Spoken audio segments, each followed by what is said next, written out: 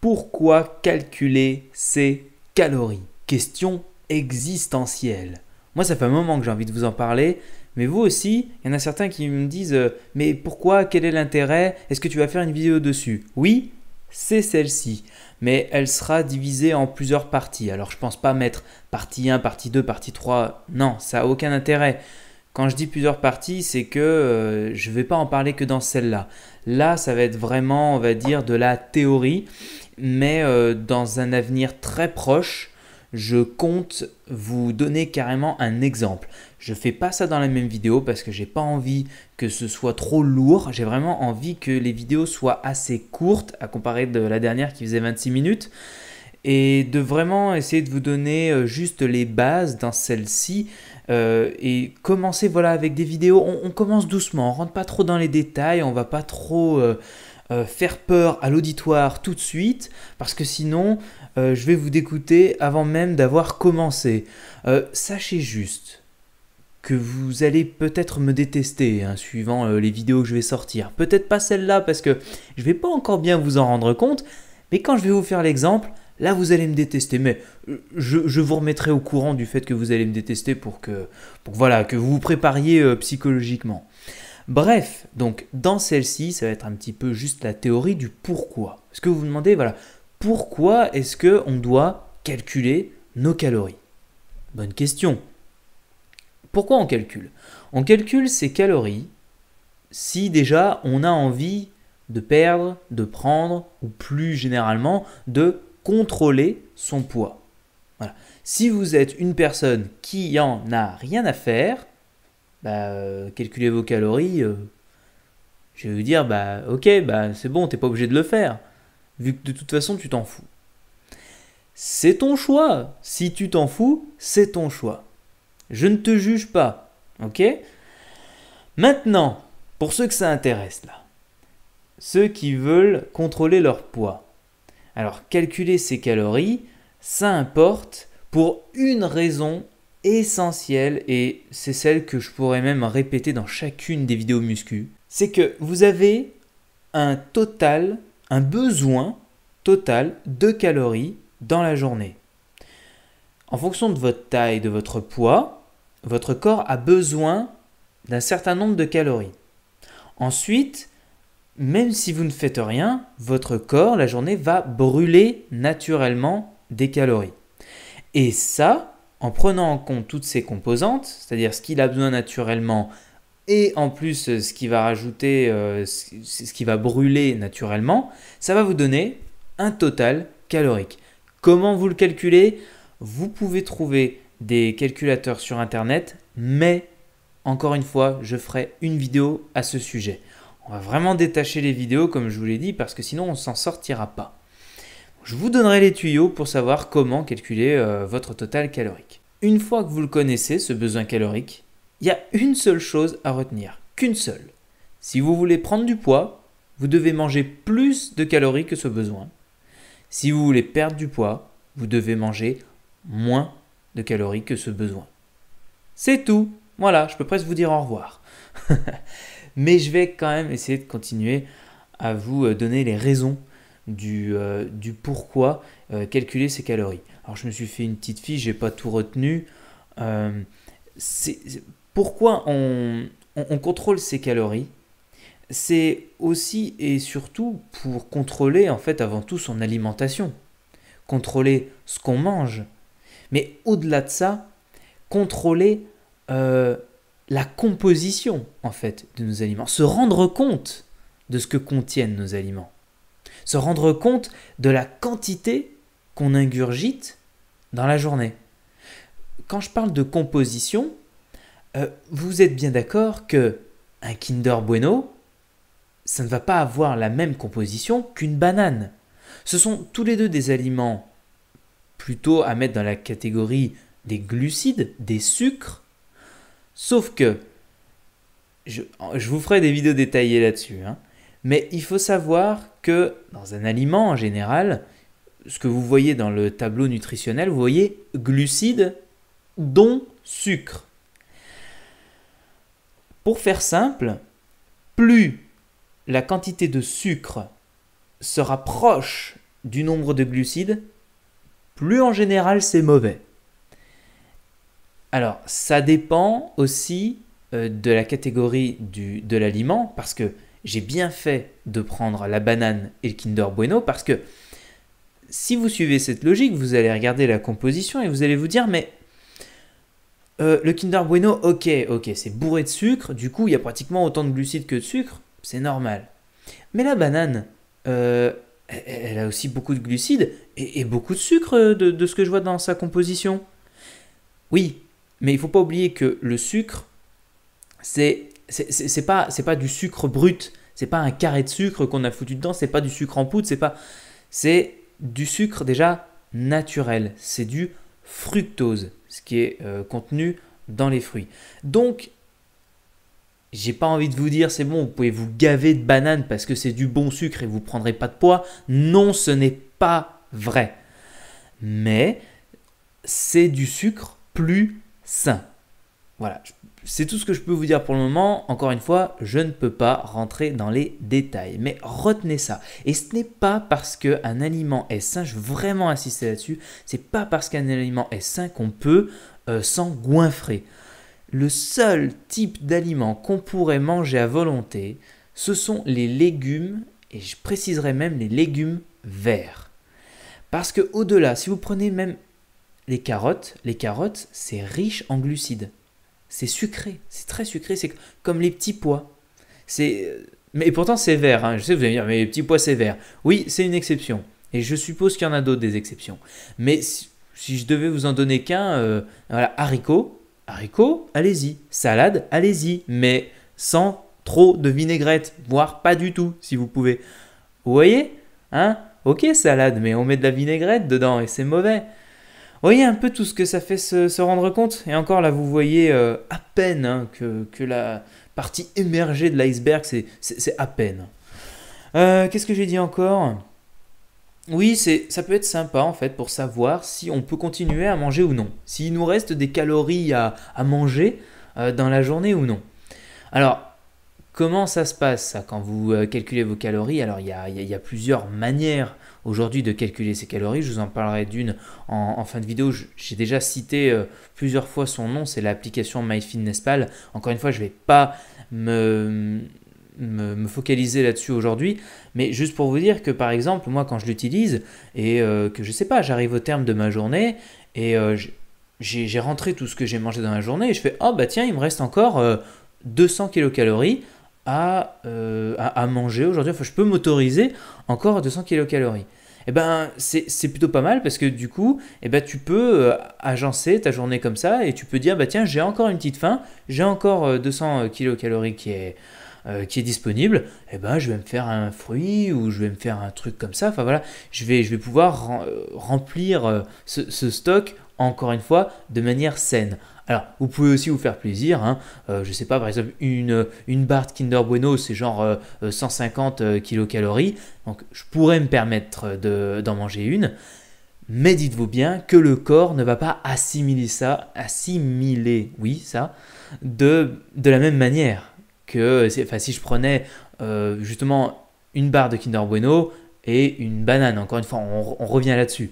Vous voyez, si je prends l'un ou l'autre, mon corps ne va pas l'assimiler de la même manière.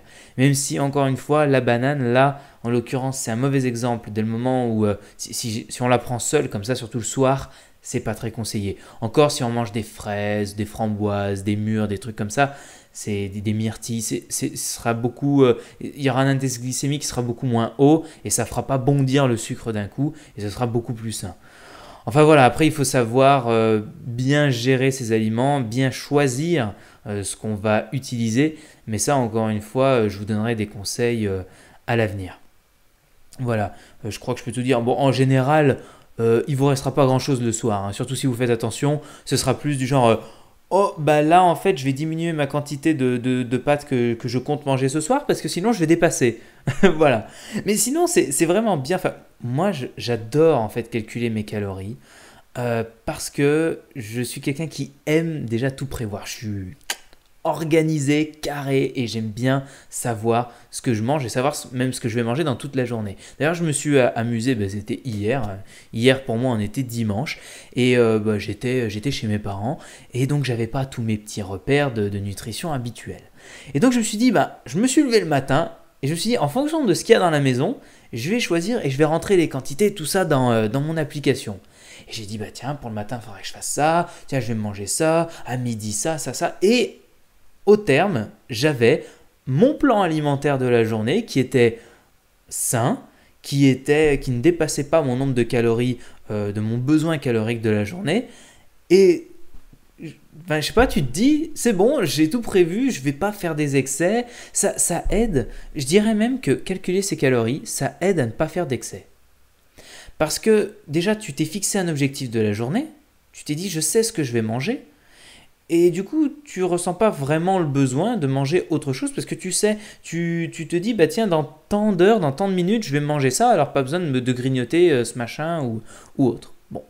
Après, c'est sûr que si vous mangez assez peu de calories dans la journée et que vous avez une grosse faim, vous pouvez avoir tendance à craquer, mais en général, je pense sincèrement à, vous de me dire, une fois que vous ferez l'expérience, de me dire vraiment si euh, ça peut vous aider ou pas. Bref, je parle énormément alors je veux que ce soit court, mais j'espère que c'est bénéfique pour vous et que c'est intéressant.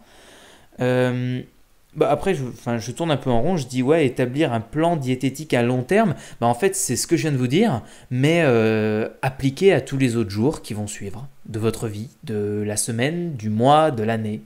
Voilà, ça, ça, vous permet vraiment d'établir euh, euh, un plan alimentaire. Vous pouvez, c'est par exemple l'application que j'utilise, je, peux faire des plans alimentaires sur toute ma semaine, sur tout le mois. Je peux, je peux naviguer dans l'historique, je peux me, je peux me prévoir des jours, euh, dire ce jour-là je mangerai ça. C'est vraiment, voilà. Après là je le fais avec l'application, mais je parle de l'application, vous pouvez le faire sur un agenda. Hein on est bien d'accord. C'est juste que l'application, elle sait pour tant de millilitres ou tant de grammes de tant de nourriture, combien ça fait de calories et de quoi c'est composé.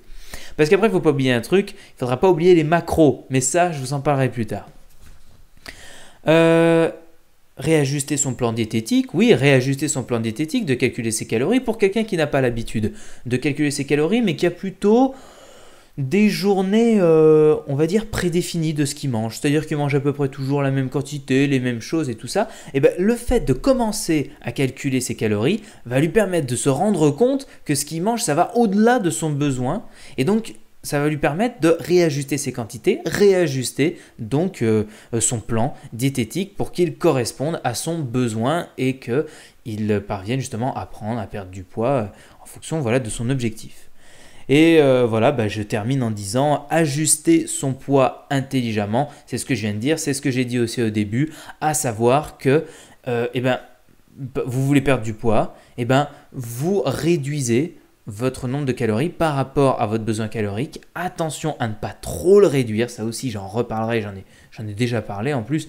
Euh, le réduire vraiment de, on va dire, si je devais vous donner une fourchette, c'est de 200 à 300 maximum euh, kilocalories par rapport à votre besoin, euh, histoire d'être en, déficit calorique et donc euh, faire du, catabolisme. Catabolisme, c'est de, la, de la perte, c'est le processus de perte de poids, contrairement à l'anabolisme qui qui est la construction musculaire, par exemple, donc la construction de poids. Ajuster son poids intelligemment, bah oui, ça veut dire ça. Ça veut dire que je sais que par exemple pour ceux qui font de la musculation, ceux qui ont fait, ceux qui sortent par exemple d'une sèche, si vous ne voulez pas tout reprendre votre gras, ou même si vous ne faites pas forcément de musculation, mais vous voulez prendre du poids, euh, prendre des muscles plutôt que de la graisse, et eh bien là encore une fois, il va falloir augmenter un tout petit peu de 200 à 300 kilocalories par rapport à votre besoin. Et là, tout ce que vous allez prendre, ce sera surtout du, muscle et très peu euh, de graisse on ne peut pas prendre que du muscle ou que de la graisse, il y a forcément euh, un, un tchak qui est pris. Mais plus vous prenez doucement, plus vous allez prendre en majorité euh, du muscle. Ça dépend de ce que vous mangez. Si vous bourrez d'aliments de, sucrés et tout, c'est sûr que vous allez beaucoup plus stocker de, de graisse. Euh, la moyenne en général, c'est prendre 250 grammes, 500 grammes par semaine. On va échelonner à 1, 1,5 kg 2 kg maximum par mois. Voilà, ça c'est, ça c'est l'objectif euh, ultime pour ne pas euh, prendre trop de graisse d'un coup et trop rapidement. Et oui, ça c'est du long terme. Si vous vous mettez à faire ça, c'est du long terme, c'est un plan alimentaire pour la vie. Et c'est pour ça qu'il ne faut pas trop manger ni trop réduire ses calories, parce que sinon vous allez stresser votre corps et au bout d'un moment, vous allez lâcher et vous allez faire cet effet yo-yo, vous allez vous ruer sur les gâteaux, sur le Nutella, tout ça. Enfin, au bout d'un moment, ça va arriver parce que vous allez lâcher. Alors que si vous ne brusquez pas votre corps et vous y allez progressivement, doucement, il n'y a pas de raison. Votre corps, il a besoin de temps et on est dans une société où, oh putain, on est fin mai, il faut que je perde 10 kilos avant l'été. Du coup, tu vas te restreindre comme un gros porc et après, tu vas reprendre comme un gros porc. Alors que si, dès le début d'année, par exemple, dès janvier, tu te, tu te tiens à une résolution, tu te dis, là je fais tant de kilos et tout, j'ai ça en besoin calorique, je réduis de temps pour atteindre tel, tel, tel kilo euh, au bout de, de 2-3 mois, fin février, début mars. Là, je recalcule, je dis bon, bah, j'ai atteint ce poids, je recalcule mes besoins. Bah oui, parce que vos besoins euh, varient en fonction de, votre poids. Hein. Vous redescendez encore un petit peu, mais un tout petit peu, et jusqu'à l'été, vous allez voir, eh ben, sans problème, sans trop d'efforts, sans vous restreindre, sans stresser, vous allez atteindre le poids que vous vouliez et surtout, une fois que vous l'aurez atteint, déjà vous pourrez frimer sur la plage, mais en plus, vous allez vous n'allez pas faire cet effet yo-yo euh, parce que votre corps n'aura pas été privé et il va pas être en mode famine et il ne va pas tout restocker. Et en étant encore une fois intelligent, vous allez reprendre des calories petit à petit jusqu'à décembre par exemple et comme ça vous allez surtout reprendre du muscle, très peu de graisse et ça ira très bien. Ou alors, vous pouvez maintenir votre poids, c'est-à-dire manger autant de calories que votre besoin, et dans ce cas-là, c'est nickel, vous restez avec un corps athlétique et svelte jusqu'au prochain été sur les plages. Voilà, j'ai parlé trop longtemps, je suis désolé, j'avais dit que ça ne durerait pas 26 minutes, mais on s'approche de la vingtaine, c'est horrible. Mais j'espère que bah, ça vous aura appris des choses, que ça vous aura fait encore une fois prendre conscience, c'est toujours un peu de la prise de conscience, et euh, que bah, ça pourrait aussi vous motiver à, eh bah, à vous mettre à ça, à calculer vos calories. Je vous donnerai des méthodes pour le faire. Euh, pour ceux qui ne l'ont pas encore fait, je vous propose de me passer votre adresse Gmail pour que je vous crée un dossier sous Drive et que vous fassiez un petit peu comme moi. Hein. si vous avez, euh, si, ça vous est un peu inconnu ce que je vous dis, regardez euh, la, vidéo précédente. Alors pas la prise de conscience, mais euh, sur le sur le Kishni Training. Voilà, vous tapez Kishnifu, Kishni Training et là j'explique un peu tout. Et pour ceux que c'est déjà le cas et qui ne m'ont pas encore demandé, eh bien sur Skype, alors déjà ajoutez-moi sur Skype, c'est Kishnifu, et je vous ajoute au groupe Kishni Training et on en parle, on parle de votre diète, on parle de tout en fait, de votre état d'âme, de, de comment ça va, de comment ça va pas aussi, de, de, on peut vous aider, on peut en parler, voilà bon, c'est à la bonne franquette j'ai envie de dire. Allez, cette fois, je stoppe ici. Euh, je vous retrouverai pour, donc pour d'autres vidéos, pour euh, surtout des vidéos exemples pour vous illustrer un peu ça. J'avais dit que je vous parlerais de, voilà, de MyFitnessPal, bon bah, je vous en ai parlé. Hein. Euh, télécharger, il y en existe d'autres, hein. vous mettez compteur de calories sur, sur le Play Store ou sur, enfin, sur, sur un endroit où vous pouvez télécharger des applications, hein. tout dépend si vous avez un iPhone ou autre. Et, euh, puis bah, comme ça, ça pourra toujours vous aider à calculer euh, vos calories. Et puis sur Internet, en attendant mes conseils, vous pourrez trouver aussi des, un calculateur qui calcule votre besoin calorique journalier. Voilà, allez, je vous laisse. Retournez bien à vos occupations et ciao à tous.